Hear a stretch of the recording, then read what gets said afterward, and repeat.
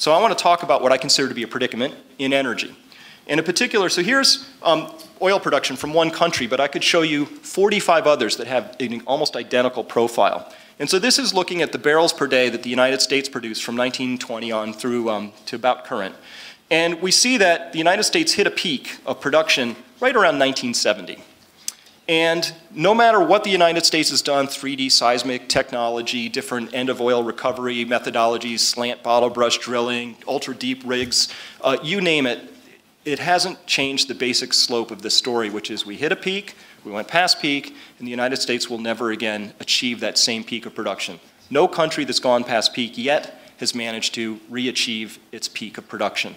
Once you go past the peak, it's over. And that's simply, we can understand it in a single oil field. Once you tap a single oil field and it goes past its peak of production, it's, there's just nothing there to get out of the ground. And if we aggregate that across hundreds of oil fields across an entire continent, you get the same story, just it looks like this.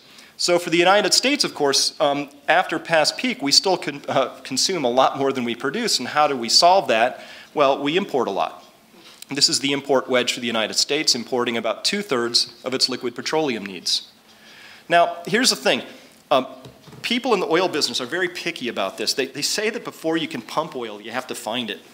And um, it, it's, a, it's a law or something that they live by. So what we really care about is when, is when did oil discoveries peak? Because in the United States, oil discoveries peaked in 1930 and production peaked in 1970, a 40-year gap. Well, it turns out, here's a nice chart. This is all the chart you ever need to understand where we are in the oil story. This is looking at world or global discoveries of oil by decade. And we see that the 1960s were the peak decade of discoveries. 1964 being the peak year, but it's, it's irrelevant. The, by decade is, is, is good. Green is history, red is what we're projecting, we're hoping we're going to find.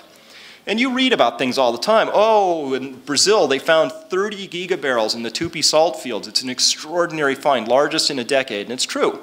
But 30 gigabarrels on this chart is about the size of that first green bar all the way to your left.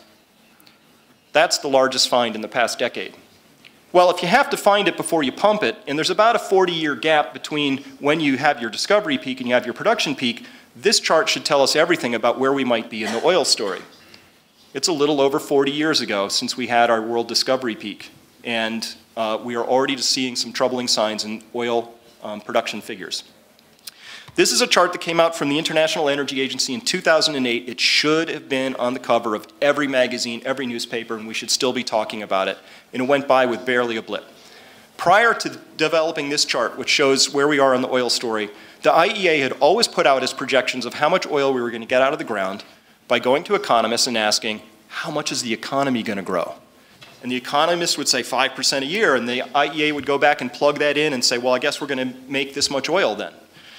In 2008, they said, hey, wait a minute, what if we actually add up all the oil fields that we know about and, and actually put them in a database and ask a different question, which is how much can they produce based on known depletion parameters? And they came up with this chart. And this one was a doozy. Now remember, this came out in 2008. The first thing we noted was that they admitted that big blue blob on the bottom, that big blue wedge on the bottom, that is oil from currently producing fields, a euphemism for cheap and easy. They admitted that we were past peak for cheap and easy oil. That means expensive oil is in the, uh, inexpensive oil is in the rear view mirror. This was a startling admission. And then the next blue wedge up is crude oil from fields yet to be developed. We know they're there. We're gonna, we're gonna have to um, drill a lot of things. But you know, we basically know that's there. Look at that red wedge. That next red wedge is crude oil from fields yet to be found. It's called the wedge of hope. We hope we find that stuff, right? And what if we don't?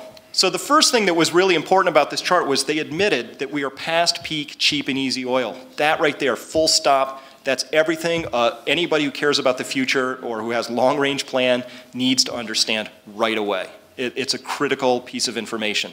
And the second thing they did, which was really quiet, 2030, their projections had always been for 130 million barrels per day of annual production. They walked that all the way back to 105 million barrels. That was in 2008. In 2009, they walked it back a little further. 2010, a little further. And this year, they just came out with their peak. Um, they think we're going to get to 96 million barrels per day by 2030. They just keep walking it down in terms of what we're going to get. What we can guarantee you is the amount of oil that is now projected to come out of the ground over the next 20 years is a fraction of what we had been planning on and a fraction of what is needed to sustain the type of global growth that we've had over the prior four decades. Full stop, that is an important admission, and we should still be debating it endlessly. And in my country, at the national level, we're still not discussing it at all.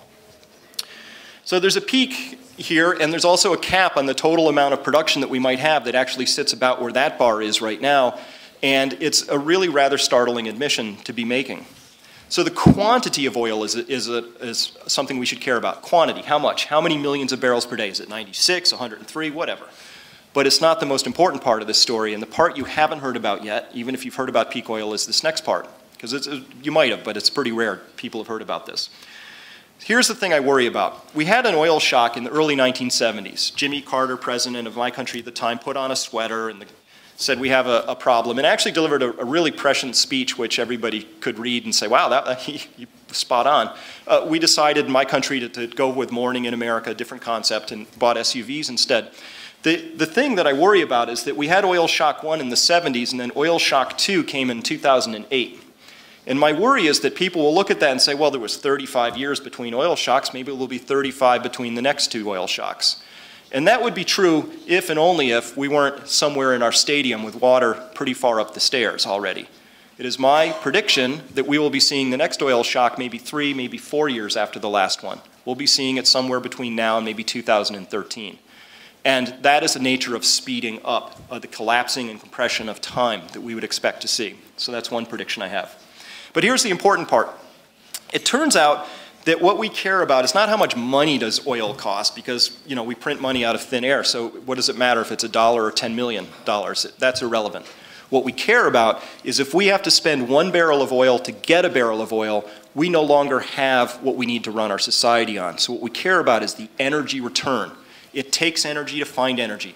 There's steel involved and diesel and all kinds of things we have to do to go and find that energy. So this is a hypothetical chart that asks the question, hey, how much energy are we getting back from the energy that we have to put in as we explore? So energy out by energy in. The green on the bottom is the energy that we get back. The energy, uh, the red is the energy that we have to use to get energy. The reason we care is because the green stuff is what we run our society on. It's how everybody got, oops, excuse me. It's how everybody got into this room. It's how we eat every day. When we go home tonight and, and, and we eat dinner, most of that food got there with a huge energy subsidy from oil in particular. So it's surplus energy we care about. And here's an interesting story. So when we first started, um, oh, and it crosses at one, because again, when you're spending one barrel to get one barrel, you have a 0% return off of that. That means you're keeping your engineers busy, but you're not delivering anything back to society that we can use. And the story is interesting because when we first started looking for oil uh, we were getting 100 to 1 or greater returns. You know, the Ghawar field in Saudi Arabia, it's only 1,100 feet down and it's on land and it's under pressure and it's light, sweet crude. It's gorgeous, right? Um, maybe, maybe two or 300 to 1 returns for the Ghawar field. And then as we started going along in the 70s, we were chasing stuff, the smaller fields, some of it's offshore. We're getting still 25 to 1 returns. Look how much green is still under that. Huge amount of green. And then as we go forward, 1990s, maybe we're getting 18 to 1 to 10 to 1 returns from our oil finds, still a huge amount of green under that. But when we consider what we're doing with tar sands today, or what we might be considering doing with tar shales, or the oil shales of the West, or what we're even doing with deep water drilling, we're actually getting oil returns closer to 3 to 1. Note that when we go from 100 to 1 to 3 to 1, it's not a nice straight line like the ones we intuitively understand. This is a non-linear curve it means that there's a cliff that we can face, where once we get about maybe five to one or less, we suddenly fall off very rapidly down this energy cliff. And here's, the, here's why we care about that. If we get to live on that big green area there, what happens when we're only living on oil finds that come in at three to one?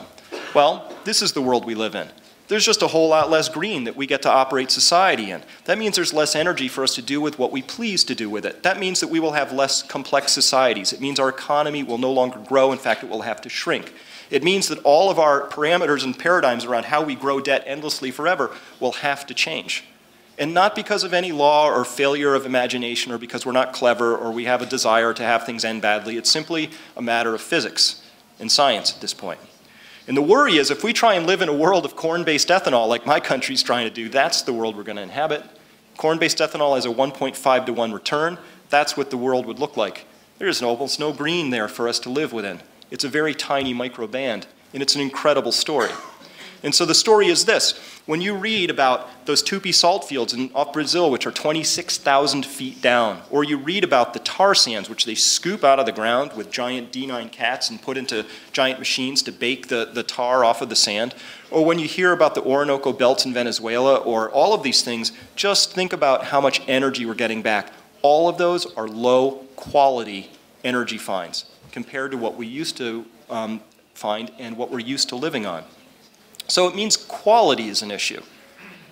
It means that when we're thinking about this thing that must grow, this economy, and we've now attached it to an energy system that we reasonably suspect maybe can't grow, when you think about that energy side, I want you to think about both pieces, both the quantity and the quality. Two Qs, very important in the story. And the quality is still not really talked about, even in, in the most, uh, uh, you know, the best newspapers out there. They're still not talking about it.